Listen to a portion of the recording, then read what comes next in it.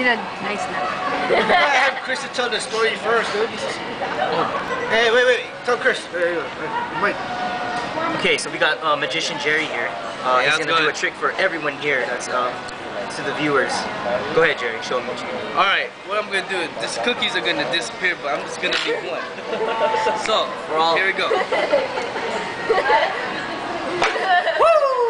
now you don't see it.